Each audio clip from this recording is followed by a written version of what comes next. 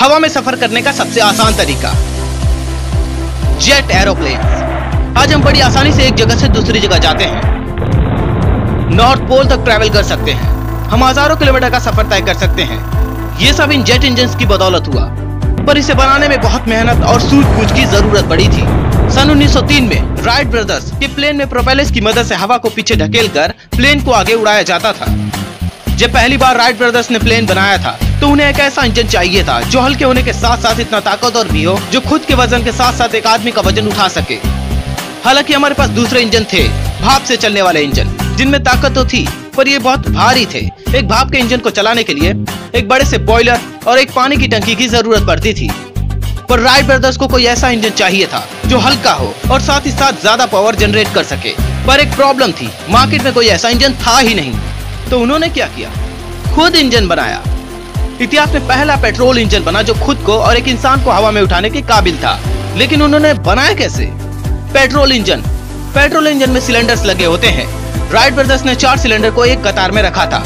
हवा और फ्यूल का मिक्सर कार्बोरेटर के ज़रिए सिलेंडर में जाता है और इस मिक्स फ्यूल को एक पिस्टन दबाता है। फिर एक स्पार्क प्लग इसे जला देता है, जिससे एक विस्फोट होता है, जो इन पिस्टन को ऊपर नीचे करता है और पिस्टन क्रैंक को घुमाता है। इससे इंजन काम करना शुरू कर देता है। इसके एक सिरे पर पंखा लगाइए और लीजिए तैयार है वायुयान का इंजन। सिंपल है ना? इसके आसपास रेडिएटर के ज़रिए पानी चलाकर इसे ठंडा रखा जाता था। लेकिन ये यात्रियों को ले जाने लायक नहीं था। इसके लिए बड़े और ताकतवर इंजन की ज़रूरत थी। ठीक दस साल बाद यह है रोटरी इंजन, जिसका आविष्कार ऑस्ट्रेलिया के लॉरेंस मार्ग्रेन ने किया था। इस इंजन ने फ़र्स्ट वर्ल्ड वॉर में सबसे तेज लड़ाकू विमानों को उड़ाया था। इसे घूमने वाला इंजन भी कहा जाता था, क्योंकि इसके पंखे के साथ साथ सिलेंडर भी साथ में घूमते थे, और यह हवा से ठंडा होता था, इसलिए हल्का था। इसे भारी पानी कूलिंग सिस्टम की ज़रूरत नहीं पड़ती थी, इसलिए ये ज़्यादा ऊँचा उड़ान भर सकता था। पर इसकी एक प्रॉब्लम थी, ये इंजन बड़ी मुश्किल से चालू होता था, और इन विमानों को इससे बड़ा नहीं बनाया जा सकता था। अगर इसे बड़ा बनाते तो इसका बैलेंस बिगड़ जाता, और ये ठीक से उड़ नहीं पाता। और इसका वज़न 130 किलोग्राम था। जो राइट ब्रदर्स के पहले इंजन से 50 परसेंट ज़्यादा है और तेरह गुना ज़्यादा एनर्जी जनरेट करता है। ये छोटे लड़ाकू विमानों के लिए परफेक्ट थे। तो फिर हमें और बड़े और ताकतवर इंजन की ज़रूरत थी। तो हमने बनाया रेडियल इंजन इसका आविष्कार फेंड्रिक बेंस रेंशियनल ने किया था। इसका वज़न दो सौ पंचानवे किलोग्राम है। जो राइट ब्रदर्स के पहले इंजन से तीन गुना ज़्यादा है और 35 गुना ज़्यादा एनर्जी जनरेट करता है। दरअसल ये इंजन रोटरी इंजन का अपग्रेड वर्जन है। पर रोटरी इंजन और रेडियल इंजन में बहुत फ़र्क है। रोटरी इंजन में पंखा साथ में जुड़ा रहता था और ये पूरा हिस्सा घूमता था। बिल्कुल इस तरह। पर रेडियल इंजन में ऐसा नहीं होता था। रेडियल इंजन में पंखा सामने की तरफ़ रहता था और पूरा हिस्सा घूमता नहीं था। ये इंजन हवा से ठंडा होता था, जिससे ये काफ़ी हल्का था और इसका पूरा हिस्सा घूमता नहीं था, इसलिए और बड़ा बनाया जा सकता था। आखिर एक ऐसे इंजन का निर्माण हुआ जो खुद के साथ साथ ढेर सारे यात्रियों को भी उठाने के लायक था। इन रेडियल इंजन में सबसे बड़े विमान थे। फ्लाइंग शिप्स जिन्हें उड़ान नौकाएँ कहते थे। ये पानी पर लैंड करती थी। ये उस समय के सबसे बड़े विमान थे जिनमें 50 आदमियों को ले जाने की ताकत थी। इन विमानों में फीचर्स के नाम पर सब कुछ था। Wine shop sleeping house smoking area piano hotel और भी बहुत कुछ। और इनकी लैंडिंग स्ट्रिप पानी इसलिए थी क्योंकि प्लेस बहुत बड़े थे और उनको लैंड करने के लिए लंबे चौड़े रनवे भी नहीं थे। और पानी पर लैंड करना रनवे आपकी मन मर्ज़ी के मुताबिक लंबा हो सकता है है ना? पर सेकेंड वर्ल्ड वॉर शुरू होने के बाद इन सब विमानों के दिन गिने चुने रह गए थे। इन इंजन में हैरत अंगेज बदलाव आया। कैसे? कैसे? इसके ज़रिए। ये है जेट इंजन। इसका निर्माण फ्रैंक बीटल ने किया था। राइट ब्रदर्स के बाद। इंजन को नई ऊंचाइयों तक ले जाने में सबसे बड़ा योगदान इन्होंने ही दिया था।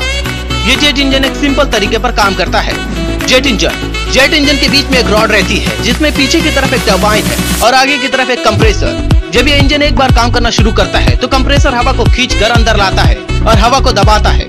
इस दबाव के साथ हवा इंजन के अंदर कंबस्टन चेम्बर में जाती है, जहाँ फ्यूल और फ्लेम को मिक्स किया जाता है।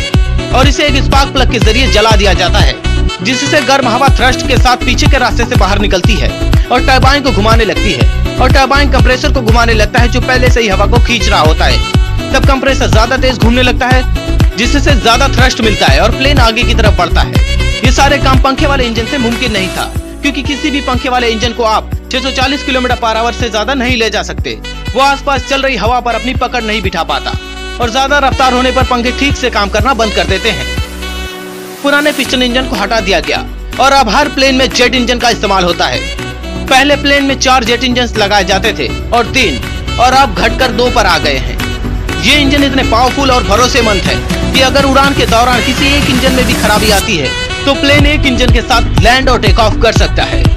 और कुछ इंजन तो साढ़े तीन साल से लगातार यूज़ हो रहे हैं। इससे साबित होता है कि हमारे इंजीनियर इसे बनाने में इतनी कड़ी टेस्टिंग करते हैं कि यह इंजन हर सिचुएशन में काम करता रहता है। इस पूरे जेट इंजन को ऊपर से नीचे तक हाथ से बनाया जाता है, जहाँ कार बनाने वाली कंपनी की तरह रोबोट्स नहीं लगे रहते। इन सब इंजन को अलग अलग हिस्सों में बनाया जाता है। इन सारे इंजन को अलग अलग ग्रुप्स की टीम बनाती है, वो भी हाथों से। कमाल है ना? तो दोस्तों, आपको ये वीडियो कैसा लगा? मुझे नीचे कमेंट में बताओ। अगर वीडियो अच्छा लगा तो लाइक कर दो शेयर कर दो, और मेरे चैनल को सब्सक्राइब कर लो यार। कर दो ना। क्या जाता है